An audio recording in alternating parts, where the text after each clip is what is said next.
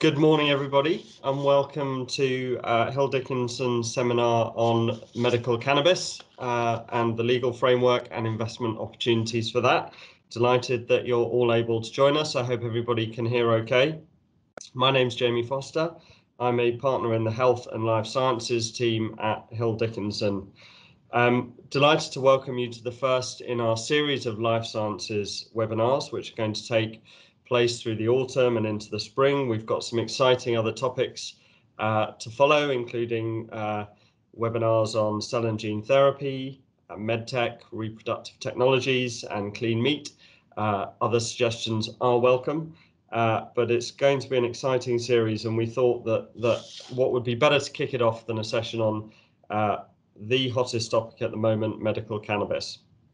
The format for the session uh, this morning is a short uh, talk from me about the legal framework, really just to set the scene for uh, how we've got to where we are today in terms of the legalities of the medical cannabis sector. Uh, we then have, uh, delighted to welcome Dr. Michael Sodergren, uh, who's going to talk about his work with Sapphire Medical Clinics. Um, and then my colleague Michael Corcoran from our corporate team is going to talk about some of the uh, investment opportunities and the investment landscape uh, in the UK, which has, uh, as many of you will know, I'm sure, uh, changed recently. There will be time, hopefully, at the end for some questions and answers uh, and some discussions. So if you have questions, please do uh, put them into the, the chat and we'll try and answer as many as we can. for those that we're not able to answer, we'll try and follow up with you afterwards uh, and we will send some further follow-up details at the end of the webinar. So hopefully that is what everybody uh, on this webinar is hoping to hear this morning. Um, and uh, I've put some housekeeping slides up here. It'd be great if you could uh, comply with those. Unfortunately, I'm not able to uh, suggest where the fire exits are or uh, where we can meet for coffee and networking afterwards, such is the world at the moment, but these are still important housekeeping points.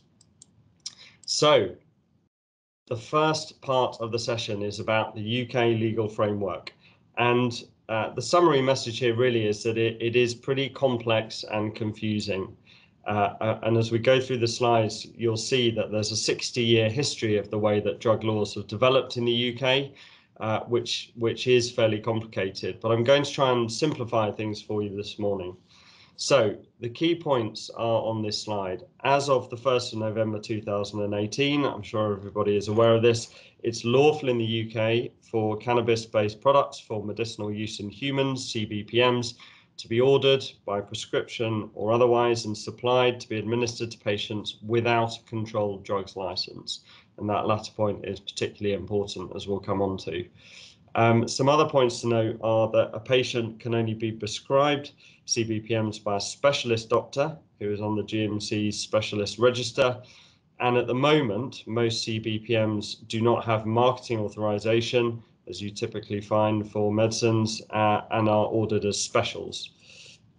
It's important to note that the NHS, uh, notwithstanding the legality of CBPMs, does take a cautious approach and is taking a cautious approach uh, in the way that it, it, wants to let medical cannabis um, be prescribed on the NHS.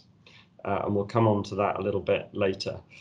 Nevertheless, slowly but surely, changes are being made to the legal framework to open up the market um, and to expand treatment opportunities. And Dr. Michael Sodergren is going to give you some of the way that's happening. So uh, it's a positive and optimistic picture at the moment, and that's a key message that we'd like to get across today. So where does it all begin? Well, it all begins in legal terms uh, with an international treaty, in particular the Single Convention on Narcotic Drugs from 1961. And the key thing that that, that convention did was uh, classify uh, drugs according to different types. And in the UK, it's the Misuse of Drugs Act 1971, so a uh, nearly 50 year old uh, piece of legislation that describes and sets the framework, is the cornerstone of UK laws around, uh, around drugs. And this act classifies controlled drugs according to relative harmfulness, classes A, B, and C, with cannabis being in B, as we'll come on to look at. And crucially, it prohibits, restricts, and criminalises the import, export, production and supply, possession and cultivation of cannabis. But there is a, an exception in there and a note that activities may be permitted if carried out subject to a license. So even back in 1971, uh, that was anticipated. But this is the core piece of legislation uh, that controls particular types of drugs. So the Class B designation uh, includes various drugs, but also cannabis. And Schedule 2, Part 2 of the 1971 Act does list, uh, I've helpfully put a picture of a cannabis plant there, does list uh, cannabis uh, and the different uh, aspects of cannabis that are caught within Schedule 2. So crucially, cannabis, the plant, or any part except the mature stalk, fibre, uh, and seed. So that crucially means the flower and leaves caught within Schedule 2, cannabis resin, uh, CBPN, and uh, various derivatives. So there's a clear list in Schedule 2 uh, as to what is caught within the Class B designation and is very broad. Um, I'm sure people have questions about CBD. How does CBD fit into all of this? Um, uh, one of the uh, the most um, uh, uh, talked about areas of the cannabis sector, but also one of the most confusing, in particular legally. So CBD is a non-psychoactive cannabinoid found in cannabis. So there are uh, depends on uh, various numbers have been quoted for this, but anything upwards of 100 uh, cannabinoids in cannabis, and CBD is one of these. Um, there are huge amounts of products on the market, as you will all know, claiming positive health effects for CBD. But if we look at it from a very uh, strictly legal point of view, the key point is that CBD in its pure form is not scheduled or controlled under the Misuse of Drugs Act. The, the difficulty is that the Home Office takes a very cautious approach as to how CBD can be designated to be uh, in a pure form. And really where this leads to is that it's very difficult for CBD not to be uh, classified as a controlled drug. Now, there are uh, that that will of course lead to questions about why there are so many products out there on the market that claim to have CBD, but really that's slightly beyond the remit of this talk today. Suffice to say uh, that, as the last bullet point shows, uh, it's a complex picture as regards CBD. So, following on from the 1971 Act, uh, the next big change in drug laws came with the Misuse of Drugs Regulations 2001. Um, uh, it's a uh, we're referencing uh, laws here, so it's important that we have a picture of the House of Parliament, as lawyers like to do on slides. Um, and the misuse of drugs regulations takes the 1971 Act a bit further, allocates controlled drugs to one of five schedules, um, and includes the various cannabis products under Schedule One. Um, the key point about these regulations are that they specify that cultivation, production, supply and possession of Schedule 1 drugs is only lawful where the person engaging in these activities holds a Home Office license. So uh, I mentioned that the 1971 Act included uh, uh, a facility for um, for a licensing regime for use of controlled drugs, and these regulations permit for that. So these were uh, a helpful and important step in loosening um, uh, the ways in which controlled drugs could be used in the UK. Um, the next significant change came with the 2018 regulations, and these are absolutely crucial because they fundamentally changed the law in relation to CBMPs and they removed them from the more strict controls for cannabis uh, they moved them from Schedule uh, from Schedule 1 under the 2001 regulations to Schedule 2. And the effect of that is that the uh, this allowed for CBMPs to be ordered, prescribed and administered, provided that they had marketing authorization, were used in a clinical trial, or are specials ordered by and supplied to a specialist doctor. So the, these are the crucial regulations uh, it took a long time, but that recognized that, that medical cannabis can be uh, ordered and prescribed. So that's the, the latest piece of law that has taken us to where we are now. I mentioned earlier on the approach in the NHS, and the NHS uh, has been looking at medical cannabis since that change in the law. And in particular, there was some NICE guidance came out last year, uh, which considered um, CBMPs quite carefully. And this slide sets out where NICE got to.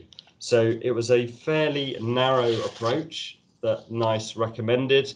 Um, and as you all, all probably realize and understand, uh, NICE guidance is particularly important and drives the way that the NHS approaches medicines and whether they can be prescribed.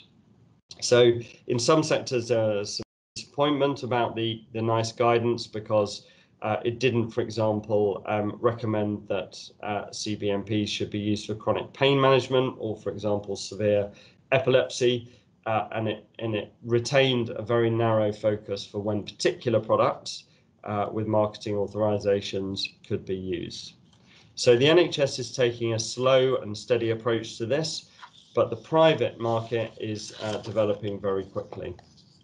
And then the last slide I just wanted to talk about are some recent developments that have happened this year, which again are absolutely crucial. And one was a relaxation in March um, uh, around import restrictions, which makes it much easier to import specials. And this is really important for um, doctors prescribing CBMPs uh, and has helped enormously. And then uh, the most recent develop, development is the um, the development last month, which uh, my colleague Michael is going to talk about in a bit more detail later on, the FCA statement on the listing of medicinal cannabis companies on the main market of the LSE. Uh, and that is a significant step forward uh, in the investment landscape and in providing investment opportunities. So that's where I wanted to end it. A quick canter through 60 years of controlled drug laws in the UK. Uh, and I'm now going to hand over to Dr. Michael Sodergren. Michael, over to you. Thank you, very, much, uh, Jamie, and uh, thank you for the invitation uh, to speak on this webinar. Um, I'm just getting some echoes. I wonder if everyone can mute. Uh, that would be helpful. Thank you. Great. Um, so a little bit of uh, background about myself. Uh, I'm, I'm a doctor, I'm an academic clinician at uh, Imperial College, uh, where uh, I operate on liver and pancreas cancer for the most part. Um, but I became interested in medical cannabis on the research uh, side initially, uh, where we were looking at the effects of cannabidiol in pancreatic cancer models and how it interacts as an anti-inflammatory agent with some of the chemotherapies that we use. And we've got some really interesting data, and that's evolved at Imperial into a really uh, rather uh, comprehensive research program where we're now looking at a wide variety of other clinical applications, such as inflammatory disorders and pain and so on. Um, and um, I also um, have become involved with EMMAC Life Sciences on the research front, helping them with some of the preclinical and clinical research activities that they do at universities throughout Europe. Um, but um, around about the time when the law changed, um, which is coming up to two years ago, uh, now, myself and a group of clinicians at Imperial and other London teaching hospitals realized that uh, it was going to be difficult for patients to access medical cannabis uh, in, in the way that uh, we had or it was envisaged. Um, so at that point, uh, we started work on setting up Sapphire Medical Clinics, uh, which was the first CQC approved medical cannabis clinic in the UK uh, and which is some of the activities in which I'm going to describe uh, in this talk. Um, so over the next uh, 20 or 30 minutes, um, what I'll start by doing is just a very brief introduction to medical cannabis and what the current landscape is in the UK. Uh, I'm aware that most uh, people on this uh, webinar are not medical, so I'm going to keep the medical details pretty light, but it will touch on some of the conditions that we treat and sort of some of the interesting aspects on how medicines are taken. But then I'll um, also uh, provide an introduction to Sapphire Medical Clinics and how we evaluate patients, and also touch upon the real world data platform uh, that we have uh, set up. Um, so I'm not going to dwell too much on this. As I said, I understand that most uh, participants are non-medics, but suffice to say that the endocannabinoid system uh, is uh, the system in the body that we're targeting with medical cannabis. Uh, the cannabis plant has over 120 natural cannabinoids, uh, and they are essential, and THC and CBD are two of them, and they are uh, essentially uh, the tools that we use to manipulate the endocannabinoid system. as you can see on this slide, the endocannabinoid system is located throughout the body, has a wide range of effects on pretty much all the organ systems. And we are starting to understand uh, how CBD and THC uh, function, how they signal throughout the body. Uh, but we're really only starting to scratch the surface of the basic science as to how these uh, uh, chemicals interact, what the other constituents of the plant do from a medical point of view, and so on. Um, so what's the current UK landscape? Well, as Jamie said, uh, the law changed in 1st of November 2018. Um, and that came as, uh, I think it's safe to say, as a surprise to the majority of the medical profession, in that it was a very political decision that was uh, based on uh, a, a, a, successful uh, campaign in the media relating to uh, the plight of some young children with treatment resistant epilepsy who had had a very good treatment response to medical cannabis and who were not able to access treatment. But there was very little in the way of uh, consultation with medical groups in the UK prior to the change of the law. There was very little in the or very little to none in the way of planning for how, as a medical profession, we would uh, train doctors to prescribe these medicines, uh, under what indications we uh, would consider them, how all of this would relate to the private and the NHS sector, and so on. So at the moment, there are three licensed uh, uh, medical cannabis products in the UK. That's Sativex, the first one that we use for uh, spasticity in multiple sclerosis. Nabilone is a synthetic that we use to treat chemotherapy-induced nausea and vomiting. And Epidiolex is a uh, CBD isolate uh, that we use to treat uh, epilepsy. And these were the three medicines that were recommended for treatment for these uh, specific when they ruled uh, on whether we should have them available on the NHS at the end of last year. And so for a proportion of multiple sclerosis patients, two childhood epilepsy syndromes, and a subset of patients with chemotherapy induced nausea and vomiting, in theory, uh, these medicines should be available free on the NHS. The other condition that NICE uh, evaluated at the time, and again, as Jamie touched on, was chronic pain. And whilst the evidence was in favor of efficacy, i.e., that it works as a medicine to treat chronic pain. The real job of the NICE committee is to evaluate cost effectiveness, and particularly if it reaches the 20 to 30,000 pound per quality adjusted life year or QALY threshold that we set as a bar for the UK taxpayer to to foot the bill uh, for medicines on the NHS. And so for chronic pain, it did not reach this threshold, although the evidence was quite clear that the efficacy of the medicine was there, i.e., it works. So what we need to get chronic pain on the NHS is some more robust evidence and for costs of the medicines to come down. For everything other than these uh, indications, the medical cannabis products are going to be prescribed on an unlicensed basis and that and in the private sector. Um, insurance companies are not currently reimbursing prescriptions for medical cannabis, and that, I suppose that's important to remember because Germany, that's the reason why uh, the medical cannabis market has developed uh, as it has. Uh, and that's because uh, the medicines themselves are reimbursed by uh, private medical insurance. And finally, on, on this subject, I think that the, it's fair to say that the NHS is not likely to adopt medical cannabis for at least the next five years for all of the indications that we treat, at least, I'd say more likely a decade.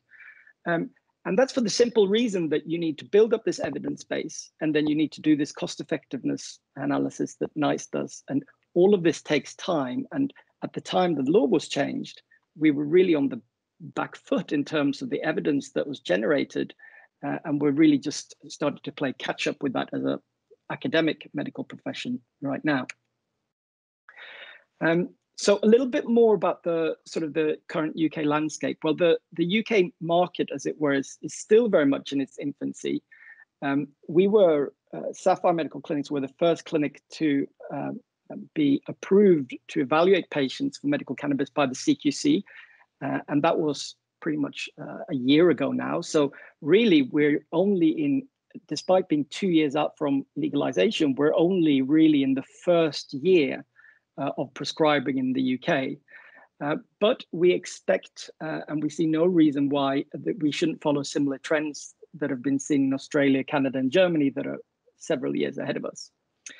Um, what we do know is that there is likely to be large demand from patients to access cannabis-based medicines. Uh, you know, most GPs and doctors, such as myself, had had multiple patients, even prior to the law changing, uh, inquire about the role for medical cannabis in their treatment. Um, there was a, a, a YouGov poll published by the Center for Medicinal Cannabis at the end of last year with a good sample size of over uh, 10,000 people uh, that showed that about 1.4 million people across the UK take medical cannabis to treat a medical symptom, a symptom of a diagnosed medical problem. So this is not recreational. This is not for any other purposes than treating a symptom of a diagnosed medical problem. And so that's obviously a lot of people. Um, the expectation is that we're likely to follow uh, uh in the footsteps of Canada and Germany and Australia. There are some nuances and some differences in the healthcare systems. And I think that uh, on that basis, we're more uh, aligned with Australia uh, in the UK than uh, than with Germany or Canada. And as you can see on the on the graph on this side, this is this is how Australia went. So in the first year, there were just 457 patients. I can tell you that in the UK, there's many more than that for sure. Um, but they've seen more or less a 500 percent increase year on year uh, from second to the third year. And really, here in the UK, that's going to be in the private sector uh, and uh, mainly in the private clinics where you have this centralized expertise uh, and where, uh, unfortunately, the prescriptions are going to be paid for by the patients. So why is the UK market uh, tough? Uh, well, there are a, a number of factors. Um, so the first is doctors and expertise. You know, when this uh, when the law changed, there was still a perception that uh, the evidence base was lacking for some indications, not all. There was a, a bias by some some older doctors in the medical pr profession, um, and and there was a feeling that doctors may may risk a reputation by prescribing uh, CBMPs. Uh, but it's also relatively high risk because the medicines are prescribed unlicensed. And so you need appropriate training and you need to have an appropriate clinical governance framework around you to protect yourself as a doctor. Uh, and obviously, you need to be able to prescribe them freely and without conflict of interest. Um, then there are some regulatory guidelines. And so when, uh, when the law changed, NHS England and MHRA uh, issued some specific guidelines about prescribing cannabis based medicines. And they are um, uh, a, long list of essentially tick boxes that are relatively difficult for a single practitioner to adhere to. Um, and uh, the C CQC registration approval process is, is not straightforward, it's lengthy, and there was a lot of scrutiny, particularly uh, you know, during last year when the, the first uh, clinical activity was being established, and, and rightly so. Um, there have been issues with the supply chain in the UK. It's it's complicated. The specials companies need various licenses they've had to only been able to import uh, when there have been prescriptions available, meaning that the quantities are slow, lead times are long, and that also means that it's difficult for patients to get uh, access to medicines um, uh, in a timely manner. And obviously, since since uh, the law changed only two years ago, we only really started prescribing or evaluating patients for the last year the market size of the patient pool or whatever term you want to attach to it uh, is is currently small, uh, and but that is I think is changing uh, relatively quickly. So what are the types of conditions uh, for which we can consider medical cannabis? Well, this uh, this is what we uh, this is the list that, of conditions that we evaluated at Sapphire medical clinics. Um, I think I would say that it's safe to say that the vast majority of patients are, are here, pain conditions, psychiatric conditions, and neurological conditions.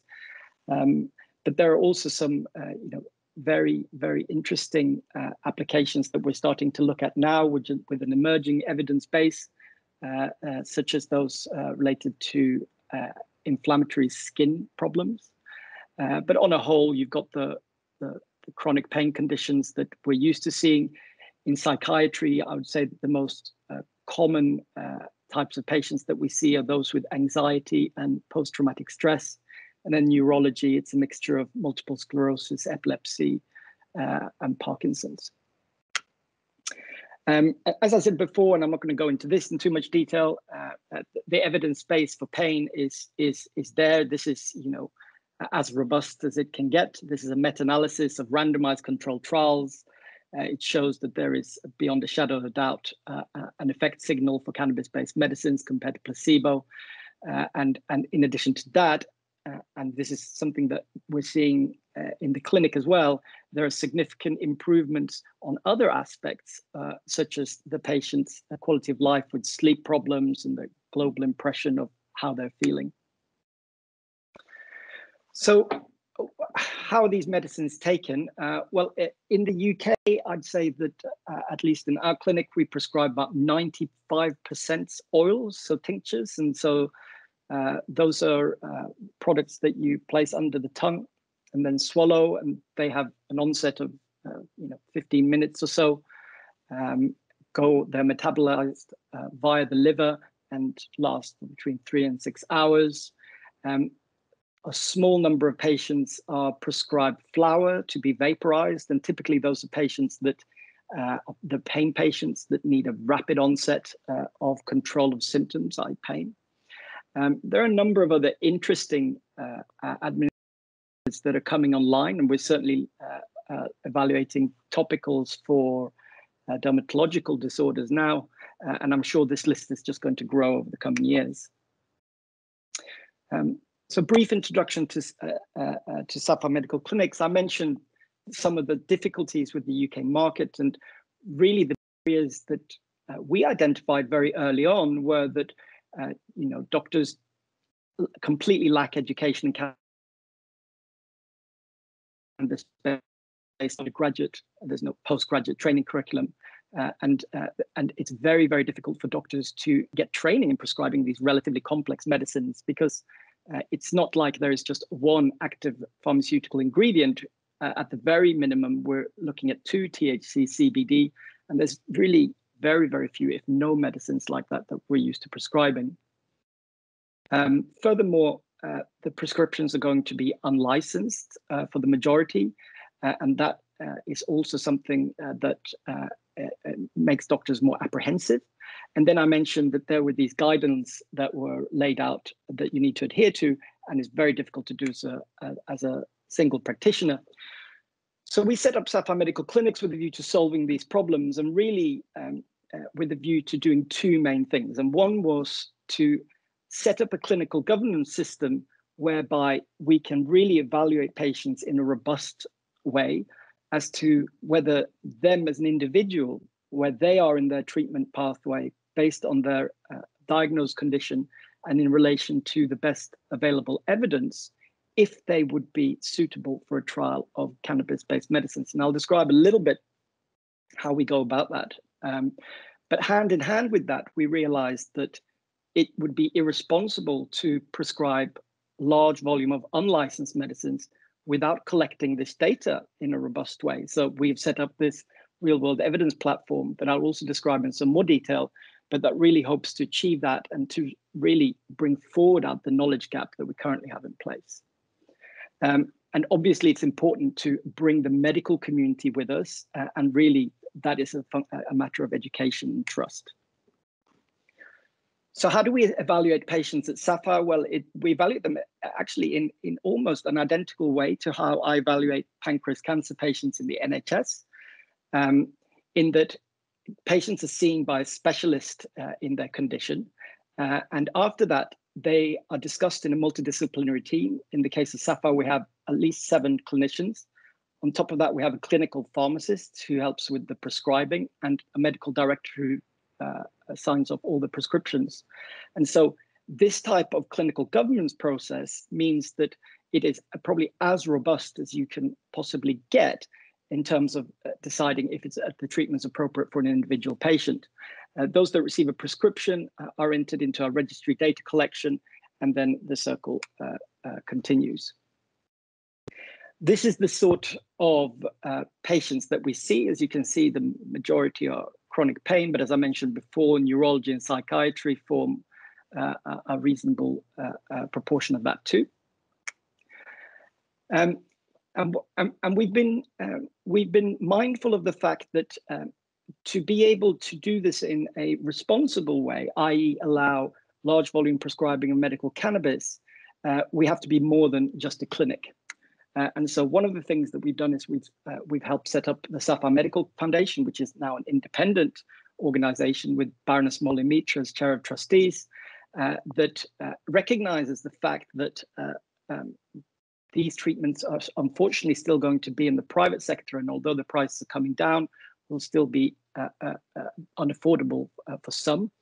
And this charity um, allows for patients who don't have the financial means and those who are deemed likely to benefit the most from treatment to have free treatment for a year and and and um, the first round of, uh, of applications have gone the beginning of last year, and there's a patient currently being treated under the foundation, which is great. Um, so I mentioned that uh, we have placed great emphasis on the um, data acquisition platform. And so we've set up the UK Medical Cannabis Registry. Uh, and this really is um, a project that uh, has taken a long time to get right, but that we're very pleased uh, uh, to be able to roll out to any medical cannabis patient in the UK, uh, where we collect data on efficacy measures, so how the medicines work for an individual patient, patient reported outcomes, adverse events, how your, for instance, for a pain patient, how the prescription of opioids may decrease over time. And we've found that patients really enjoy this, this type of uh, interaction uh, as to how, in, in, in reviewing their own treatment outcomes. Uh, and what and what this is is that this forms the clinical data acquisition uh, for our real world evidence platform. And so in addition to data from wearables, biological samples, digital phenotyping, we're looking at electronic healthcare records, so administrative healthcare data sets, GP hospital clinical data sets, combining that with big data from social media, digital networks, to be able to come to be able to derive this really rich source of data, which not only is going to be helpful for clinical outcome analysis, and in some ways, as we're waiting on evidence from randomized trials to be built up, we'll be able to use for personalized medicine in clinical context. But this is also going to be important for drug development. So for post-marketing surveillance, and we've already had some interest from industry about how we can help them with that, uh, and obviously contribute to market authorization for various drugs. Um, it's also going to be important to determine clinical trial endpoints. Um, and what I mean by that is, like I said before, for some of our pain patients, we've seen that what they tell us is that they have a real boost in their quality of life but actually, when they say, "Oh, my pain's gone from you know on a score from eight to six, the the the real uh, underlying reason for that may be an improvement in their quality of sleep or the fact that they have better functional outcomes, i.e., can wash their hair in the shower or something like that.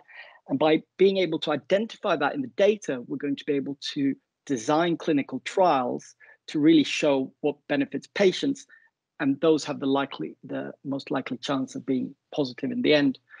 And finally, of course, this, this kind of data is something that's going to be very interesting for policymakers as we move ahead in these uncharted waters. I'm going to finish on this slide, and this is just a plug for the Sapphire Institute for Medical Cannabis Education. This is a completely free online resource for uh, healthcare professionals and patients.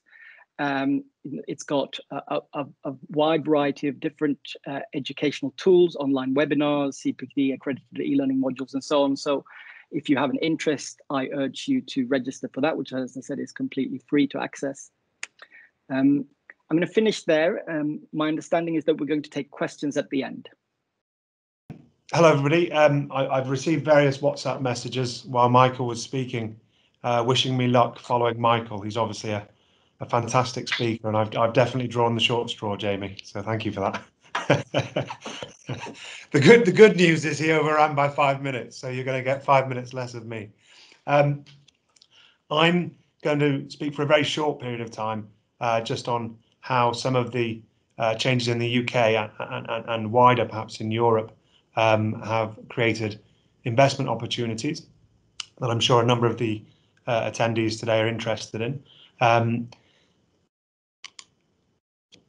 and I, will start by briefly talking about some of the different uh, sectors that cannabis um, and the medical cannabis industry covers. Um, uh, Michael and Jamie spoke primarily about the UK market and in particular uh, the process by which patients can access medical cannabis um, from uh, doctors. The, the, cannabis industry and the value in the cannabis industry for companies and, and, potential investors is obviously much wider than that. On the slide, we've got a few of the different uh, verticals. Um, I think when uh, the cannabis industry started, uh, particularly in North America um, and Canada primarily, all of the companies tried to be fully vertic vertically integrated.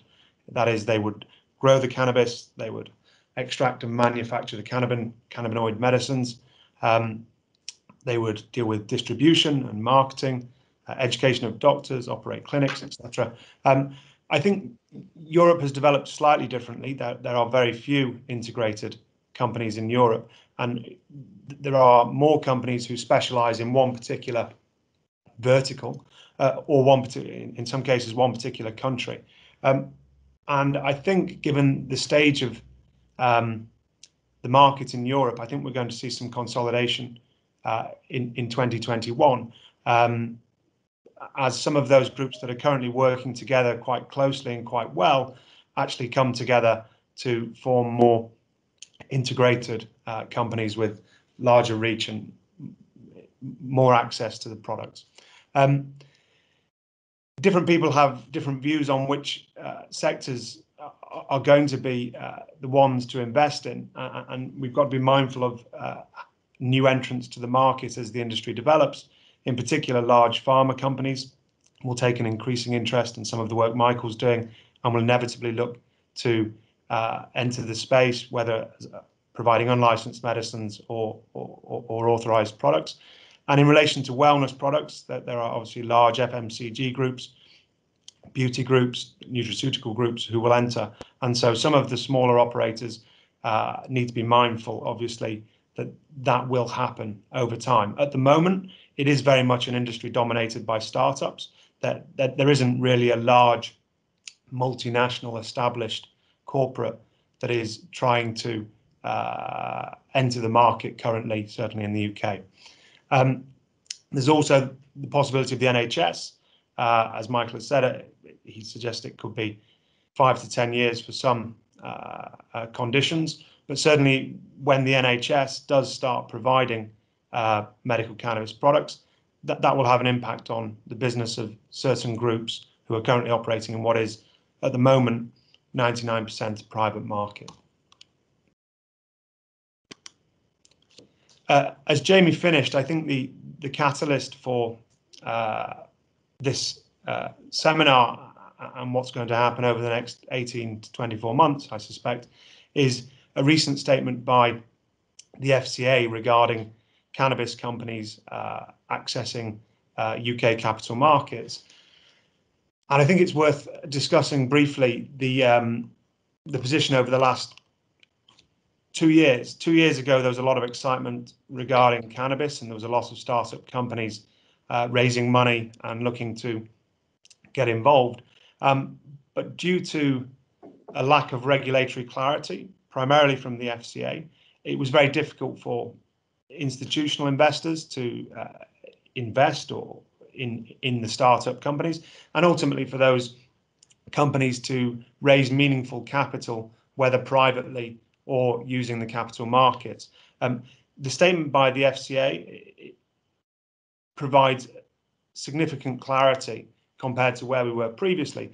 The, the net effect of that, uh, I, I would see on the ground, is that where two years ago we would have 100 companies trying to launch a wellness brand, uh, for example, there are now far fewer.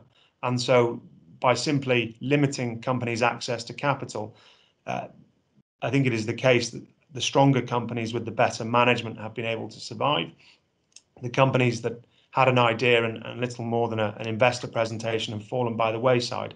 So in some ways, as an investor or an advisor in the space, the the lack of regulatory uh, uh, clarity has helped everybody in the sense that the better companies with the better management are, the, are likely to be the ones who are now moving forward and have managed to maintain their business over the last two years.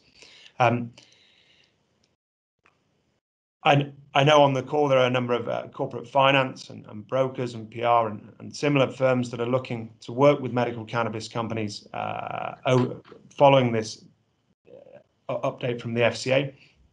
Um, and we are seeing again uh, a reasonably regular uh, flurry of new inquiries from cannabis companies all over Europe who are looking to raise pre-IPO money, raise venture capital money, raise money from private equity, and in some cases ultimately seek a listing uh, on a stock market. Um, uh, and we expect that to continue. And so I, I, I, would expect those companies to be reaching out to nomads, corporate finance advisors, um, seeking to appoint them as part of their uh, strategy as they move forward. The FCA change of position, I, will spend a couple of minutes talking about that. Their previous concern had been that the legislation permitted uh, overseas companies to uh, not breach the proceeds of crime legislation where there was an equivalent licensing regime in place. And I think the FCA were unsure what constituted an equivalent licensing regime. And the delay, uh, certainly over the last six months, we understand in correspondence with the FCA, has been the FCA reaching out to the Home Office, in particular, seeking comfort that um, an equivalent licensing regime, which is there is no guidance for, covered Europe and, and the more established jurisdictions. And we understand the FCA have received that comfort. And so companies that, for example, have cultivation elsewhere in Europe, um, the fact that you're cultivating under a license issued in Spain or in Portugal or, or another jurisdiction, that will mean that the products you're potentially supplying to the UK or elsewhere in Europe, the proceeds from the sales of that product won't be proceeds of crime. That, that has been the, the fundamental block on all of these companies raising capital from investors. On the basis that the FCA is now comfortable with that, it should mean that regulated uh, venture capital groups, regulated private equity groups, and ultimately uh, regulated markets uh, will be allowed or permitted or encourage um, listings and investment, and they can do so uh, in the knowledge that, that, they won't have a proceeds of crime issue in the future. Uh, Hill Dickinson has been very active uh, advising cannabis companies since 2017, and, and we've certainly suffered uh, over the last two years in because of that lack of clarity. Um, it, it, a number of clients who made significant progress were stalled due to their inability to raise capital, uh, inability to execute their plans to uh, list on stock markets or, or, or raise meaningful private or venture capital. We have, however, had some significant successes in the sector despite these difficulties. Um, originally advising Fast Forward uh, and subsequently on the IPO of Sativa and more recently on their uh, public takeover by Stillcanna, a Canadian listed company. We obviously work with uh, Sapphire Medical Clinics um, and uh, uh, thank Michael again for speaking today. Um, in particular, our health and regulatory team is why we have succeeded in the space, and, and, and we'd like to think why we've helped companies such as Sapphire build the platform they have. And now, as the situation becomes much clearer in terms of raising capital, obviously we hope to help people like Sapphire grow their business further and faster. And that's all I'll really say, and I'll, probably just invite questions um, now. I, I imagine there'll be more for Michael and Jamie, but uh, if anyone uh, has any questions for me, that's great. And if, if not, by all means, email me or we can follow up on any inquiries that come through um, on here. Thank you. Thanks very much. Thanks, Michael, and thank you, Michael, as well. I think we have a question from uh, uh, Director Michael Sodergren. What is the referral process to the Sapphire Clinic? Um, uh, well, it's very straightforward in that patients can uh, patients can self-refer now. So it's a it's an online an online form. It takes about a minute to complete. Um, there's a number of admin steps uh, that uh, um, are on the SAPPHIRE side. So we we won't see any patients for whom we don't have their medical records, their uh, summary of care GP records. Uh, and so uh, ones that the patients can access those themselves, or we can have uh, a, a, a, dialogue with the GP or their specialist to access those records. Uh, but from the patient side, it's a very straightforward process now. Thanks, Michael. Uh, does anyone else have any questions? Um, feel free to put them in the, the chat box or uh, or unmute and introduce yourself and ask away.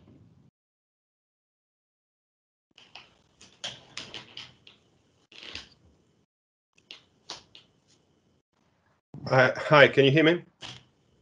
Yes. Hi, hi. Um, my name is Valentino Parravicini. I'm a CSO at Oxford Cannabinoid Technologies. Uh, a question for for Michael. Thank you. It was a great great talk. Um, I'm, I'm, more interested in sort of a approach with a with a regulator and and the agencies in general. A lot of the administration of these of these uh, drugs or pharmaceutical would be through uh, a medical device. Uh, did you have any um, interaction with with the with the regulator about that, and how is it possible, for example, to put together a drug and a medical device as a unique uh, product device uh, drug?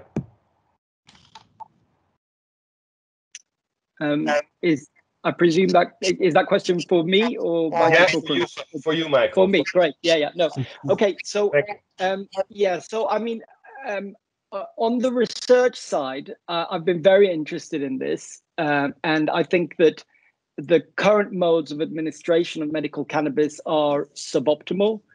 Uh, you know, the, the, the oils that we use, um, we don't have um, we don't have a, a reliable way of uh, understanding on a per patient basis. You know what the what the pharmacokinetics are like, what the pharmacodynamics are like, and so on. And so that needs to be improved. Um, there are a number of different very interesting concepts in the pipeline. And so, from a research side, uh, that is something that we've most definitely been looking at. From a regulatory point of view, um, um, there are obviously um, issues related to how you can protect uh, these kind of um, devices and combination devices with therapeutics. I suppose that's that's another question.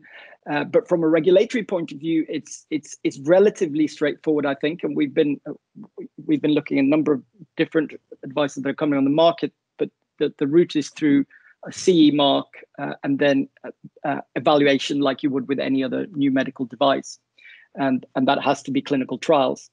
Um, what I would say on the clinical side, we are we are we are not prescribing any novel devices to patients. Uh, we know that there may be one or two on the market, but the simple reason for that is the fact that we are prescribing an unlicensed medicine. And to combine that unlicensed medicine, for which we're still collecting data, with uh, a an untested, as it were, device, uh, whether it has CE marking or not, that hasn't gone through the, the clinical trials and, and other mechanisms that we would expect, uh, just wouldn't seem sensible at this point. Uh, but I have no doubt that that is the future uh, further down the line. Thank you. Thanks, Michael. We've got a question here from from Skip to Michael Corcoran. Where in the supply chain are the best opportunities for capital raising? Um, where in the supply chain are the best opportunities for capital raising? I, I think in the short term, there is a great deal of interest in cultivation. I think there is a currently there is a supply demand imbalance, and if you take the German market um, as an example, my understanding from clients and from, from uh, research in the area is if you can supply a product to Germany, you'll sell it because there isn't enough supply. Um, and so bringing on stream uh, EN, EU GMP authorized cultivation is probably the bottleneck in bringing down prices um, in the market. At, at, the moment, the cultivators have uh, significant uh, leverage because there is such limited supply. I think in the medium term, cultivation would be a slightly riskier uh, vertical to, to, focus on because inevitably uh, large scale industrial cultivation will take place in, in, in low cost jurisdictions uh, such as South America and possibly Africa and certain optimal Southern European jurisdictions. And so at the moment, I think people who have existing cultivation with existing EU GMP, um, they are the ones that are best able to, to raise capital. In, in the medium term, I, I, I think that supply demand imbalance will be uh, addressed. And I think the value will, will move up the value chain closer to the distribution and it will be uh, more focused on the clinics and the uh, uh, the distribution and the pharmaceutical side, so the pharmacy side, and actually making sure the products reach the patients. Um, there is a, a very important uh, part of that, which is uh, the education uh, side of, of, it for doctors, and that will, I suspect, be a question of medical reps conferences and, and different companies promoting their different products, because ultimately they need a doctor to prescribe their product. And at the moment, there are obviously multiple products on the market, all very similar. And to differentiate your product, other than by price, will require uh, education. And you'll be educating them on the research you've done, the trials you've done, the data you've collected to say our product is better than theirs because of all this information we have and all the work we've done. So I, I think at the moment, the, the best opportunities are probably in cultivation, uh, particularly amongst groups that are already cultivating. But I do expect that to get uh, the value chain, the, the real opportunity to, to, to, move closer to the patient uh, distribution uh, uh, side. Does that answer the question? Great, Michael. There's a follow-on question as well, uh, which is from Carlos about about are we? Um, I assume Carlos means looking at investments in South America, and if so, any particular country. Um, we Hill Dickinson definitely aren't. um, uh, but we are working with companies that are looking to establish relationships with South American cultivation companies. In terms of jurisdictions, I think Uruguay is probably the most advanced. They are, along with Canada, one of the two companies that has a fully legal recreational market. So they have a relatively established cultivation uh, industry in uh, Uruguay. They don't have the EU GMP approvals, and a number of the cultivators there are working to, to, to build that. Um, there are also groups working, uh, cultivating in Colombia um, and Argentina. Um, and I think, yes, I, I, you know, I, I don't think it's necessarily the next 12 or 24 months, but I, I expect the long-term development of the industry to have cannabis as a commodity, as with tobacco, as with, I realize they're at different ends of the health spectrum, but it, we're not expecting the far, just as British American tobacco doesn't grow its own tobacco, we're not expecting the cannabis companies and the pharma companies to grow their own uh, cannabis. We expect that to be done by large-scale cultivators in the best best climates. Okay, thank you, Michael. I think uh, we are bang on 10 o'clock. So um, thank you everybody for joining. Um, if there are any other questions, please do uh, send them through to the email addresses uh, at the end of the slides, um, and we will also be in touch uh, to follow up as well. So thank you very much, everybody, for listening in. Thank you, everybody. Thank you, Michael. Thank you.